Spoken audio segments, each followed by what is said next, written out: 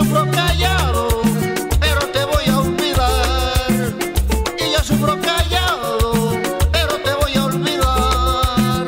¿De qué vale querer y no ser correspondido? Tú tienes que saber.